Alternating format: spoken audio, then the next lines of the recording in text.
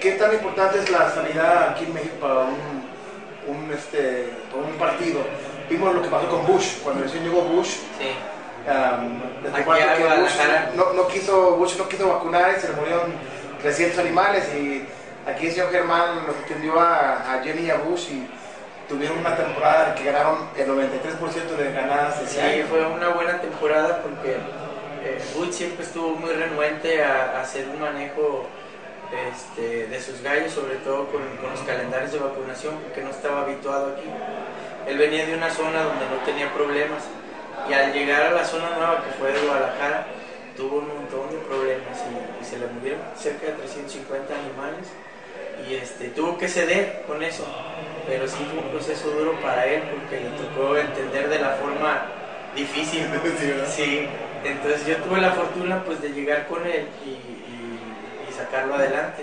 Después de eso tuve una temporada formidable, o sea, Sí, prácticamente fue invencible. 93% Sí. jugando contra Paral y contra todos los partidos de primer nivel. Parral, Cázares. Cázares, este, por mencionar algunos, o sea, sí, sí fue Sí. imparable en, ese, en esos Sí, días. entre ellos estábamos viendo la- los cálculos y ganó 93 peleas de 100 peleas. 93% ganaba en ese tiempo.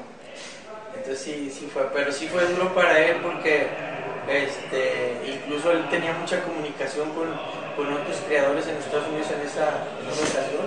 Hablaba con Dean todos los días, hablaba con Jim Brown todos los días y ellos le preguntaban, ¿qué te dice el veterinario? ¿Y qué es lo que sigue? ¿Y qué van a hacer? O sea, y él reportaba todo el proceso que seguimos y afortunadamente se paró. Y para mí, pues fue un éxito más en la carrera. Claro. Porque en Estados Unidos cuando no se vacuna nada, por la por celadas y la hiel que hay. Bueno, en realidad sí se vacuna, pero no en el área de los, de, de los galleros. O sea, Estados Unidos tiene una gran población avícola y sí tienen calendarios de vacunación, por esto que las vacunas de mayor calidad que tenemos aquí en México son hechas en Estados Unidos. Si existen allá es por alguna razón. Lo que pasa es que sí, el gallero, este, su manejo es más rústico. Entre menos este, manejo tenga el, el gallo, se supone que es más resistente, es más fuerte, porque lo dejas al estado natural. O sea, el más fuerte y el más sano es el que sobrevive. Yo, yo veo esos gallos que gringos que tienen líneas que son que los ha visto en peleas de 4 horas en el gas que no corren. Y vienen para acá y, se enferman y corre el gallo. Sí, hubo una anécdota, del palenque de Guadalajara hace mucho. Voy a comentar algo que pasó. Yo en ese entonces mm, no atendí a Hacienda Real, es otro de los que este, atendí. Y hubo una pelea en la que el gallo de Hacienda Real ganó de entrada la, la pelea. Y se van a las cortes, el otro ya, el gallo ya muriéndose, y empieza a dar cola, el de Hacienda Real. Y tres veces da cola y le falla en la pelea y la pierde. Entonces Bombón saca el gallo y empieza a decir que el gallo estaba capado. Y a mí me entró la duda y como le tenía confianza a Luis y a Gustavo, les dije que si me permitían revisar el gallo. Y sí, me dejaron revisarlo, el gallo no tenía más que una cortada en la pechuga. Entonces les volví a hacer la, la- la pregunta si me dejaban mandarlo a analizar al laboratorio. Y pues resulta que el gallo tenía leucosis. La leucosis es una enfermedad muy dura en los gallos y se transmite vía genética. Cuando nosotros abrimos ese gallo en el laboratorio, tenía el hígado lleno de tumores.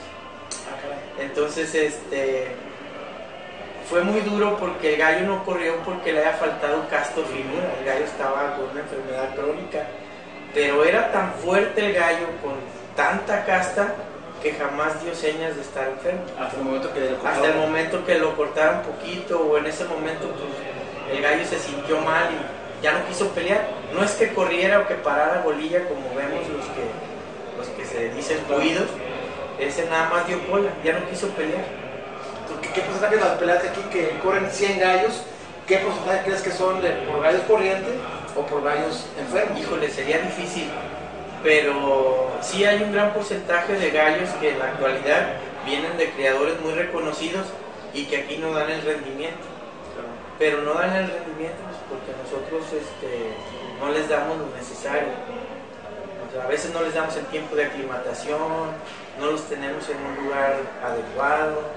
O sea, la mayoría de galleros tienen galleras improvisadas, no están totalmente adecuadas para el gallo. Entonces eso también son factores que, que en un momento dado llegan a afectar el rendimiento del gallo. Y hay gallos que de estar peleando se paran y, y no es que les falte finura o que no sirvan, simplemente que el gallo por alguna razón no se siente bien y no quiere pelear. ¿Y esa enfermedad que tenía Don Luis, cómo la, cómo la, cómo la curó? Con, con el pie de cría, o sea, eh, se- vimos atrás esa línea como se transmite vía genética, se eliminó esa familia.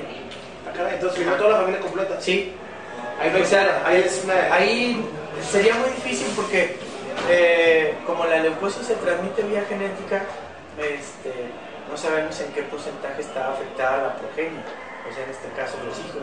Entonces es preferible mejor eliminar la familia. Eso viene de la genética, Sí, no, no de, es- eso es vía genética. cosas fueras.